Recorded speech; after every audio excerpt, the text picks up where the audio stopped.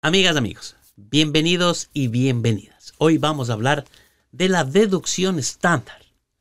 ¿Qué es? ¿Para qué sirve? ¿Cómo se debe utilizar? Y usted va a entenderlo para que usted sepa cómo funciona en la próxima temporada de impuestos. No se pierda ninguno de estos episodios. Dele un me gusta a este video y comparta. Suscríbase al canal para que más personas puedan beneficiarse de estos conceptos. Aquí comenzamos.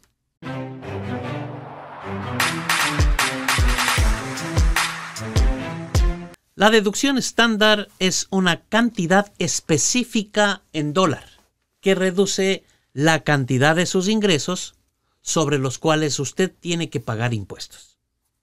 Su decisión estándar consiste en la suma de la deducción estándar básica y toda otra deducción estándar adicional por edad o ceguera. Por lo general, la deducción estándar se ajusta cada año debido a la inflación y varía según su estado civil de presentación. Y si tiene 65 años de edad o más y es invidente, u otro contribuyente puede reclamarlo a usted como dependiente. La deducción estándar no está disponible para ciertos contribuyentes. Usted no puede reclamar la deducción estándar si detalla sus deducciones. La deducción detallada es más grande o más pequeña. La deducción estándar adicional se permite si una deducción adicional cuando la persona tiene más de 65 años de edad o más al final del año tributario. Se considera que tiene 65 años de edad el día antes de cumplirlos y se le permite una deducción adicional por ceguera si usted es invidente. Esto no quiere decir que es completamente ciego. Tiene que tener solo un porcentaje de ceguera. Al último día del año. Por ejemplo, un contribuyente soltero que tenga 65 años de edad y sea ciego clínicamente, tendría derecho a una deducción estándar básica y una deducción estándar adicional por la edad y por la ceguera. Esto se suma para completar la deducción estándar. Los dependientes. Aquí podemos hablar adicionalmente de ellos. Si otro contribuyente puede reclamarlo como dependiente, su deducción estándar para este año 2022 se va a limitar a la cantidad que sea el mayor entre 1.150 o sus ingresos de vengados de más de 400 dólares. Es más complejo analizar esto. Pero el total no se puede ser más que la deducción estándar básica para su estado civil de presentación.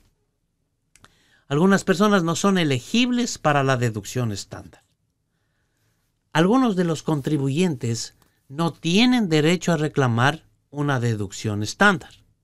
Por ejemplo, una persona que está casada y presenta una declaración separada cuyo cónyuge ya ha detallado las deducciones. El otro también tiene que detallar deducciones y no utilizar la deducción estándar, independientemente que ésta sea cero. Una persona que era extranjero no residente o extranjero con doble estado de residencia durante el año.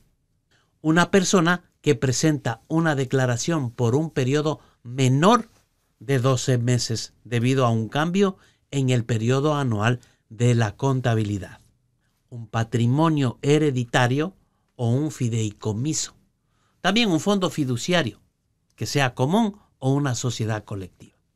No obstante, ciertas personas que eran extranjeros no residentes o extranjeros con doble estado de residencia durante el año pueden reclamar la deducción estándar solamente en los siguientes casos cuando un extranjero no residente casado con ciudadano o extranjero residente de los Estados Unidos al final del año tributario, que hace la elección conjunta con su cónyuge de ser clasificado como residente de Estados Unidos durante todo el año tributario.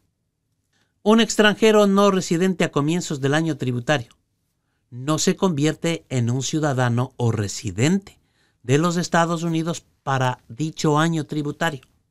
Está casado con un ciudadano o extranjero residente de los Estados Unidos al final del mismo año tributario y hace la elección conjuntamente con su cónyuge de ser clasificado como residente de Estados Unidos durante todo el año tributario. También los estudiantes y los que hacen las pasantías comerciales, que vienen a practicar, los aprendices, que son residentes también de la India y reúnen los requisitos para recibir beneficios según el artículo 21 de pagos recibidos como estudiantes y pasantes, basado en un tratado tributario sobre los ingresos entre Estados Unidos y la India. Ahora, voy a explicarle cómo funciona gráficamente la deducción estándar. Ok, entonces vamos a entender lo que es la deducción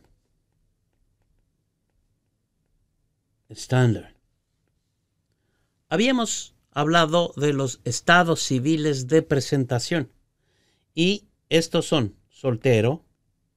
Soltero es el que nunca se ha casado o el que se divorció el 31 de diciembre. Si la persona se casa el 31 de diciembre, ya va a ser casado.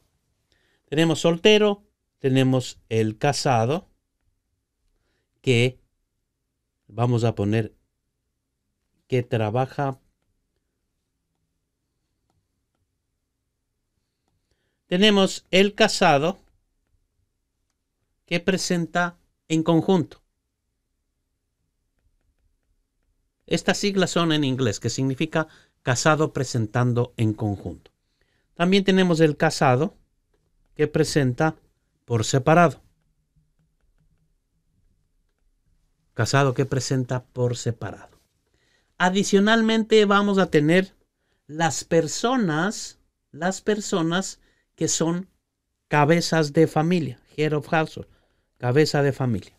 Es decir, que es una persona soltera pero que tiene un hijo, que es una persona que se ha divorciado y tiene un hijo, porque el que se divorció y no tiene hijos va a ser soltero.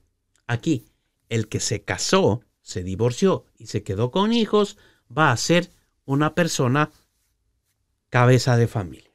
Bien, en primer lugar, el soltero. Para el año 2022, la deducción estándar es de 12.950. 12.950. Para el casado que presenta en conjunto, la deducción estándar es de 25.900. Para el casado que presenta por separado, la deducción estándar es de 12.950. Y para el cabeza de familia, aquel que se divorció el 31 de diciembre, aquel que nunca se ha casado pero que tiene un hijo calificado, que vive y completa los requerimientos para reclamar el estado civil de cabeza de familia, y también el cónyuge abandonado que el otro cónyuge se fue y está ausente por más de seis meses. Y el cónyuge que mantiene, siendo casado, puede presentar como cabeza de familia si es que él ha mantenido más del 50% por más de seis meses la casa. Esa deducción estándar para los cabezas de familia es de 18.800. Ahora bien, ¿qué significa esto? Significa que una persona que es soltera y que recibe un ingreso mediante una forma W2, mediante una forma W2, y ganó, por ejemplo, 32.950, esto tiene que hacerse la resta, los 32.950 menos los 12.950, esto le va a dar un monto taxable. Y el monto taxable es la diferencia. Es decir, que aquí en este caso, 20 mil dólares van a ser imponibles, porque 20 mil más 12 mil 950 son 32 mil 950. Lo mismo en el estado civil de cabeza de familia, suponiendo que esta pareja de casados en el año ganaron 24 mil dólares. ¿Cuánto va a ser imponible? Cero, porque no alcanza la deducción estándar. El casado por separado, si es que ganó 25.900, aquí esto vamos a restar de la deducción estándar y el monto taxable va a ser 12.950. Casado que presenta separado. Cuando los casados que presentan por separados deben utilizar su propio ingreso, no el ingreso del otro cónyuge, porque el otro cónyuge también va a hacer su declaración de impuestos. Y finalmente tenemos el cabeza de familia, el jefe de hogar, la madre soltera, el padre soltero, que tiene y reclama un hijo calificado, y si ganó 18.800 en una forma W2, 18.800, el monto taxable va a ser cero. El excedente, si ganó, por ejemplo, 50 mil dólares, si ganó 50 mil dólares, ¿cuál sería el monto tributable del cabeza de familia? Y usted tiene que hacer simplemente la operación que es, dice, 50 mil dólares de ingreso en una forma W2 y yo tengo que restar la deducción estándar menos 18.800 y vamos a tener un monto tributable o taxable de 31.200 dólares.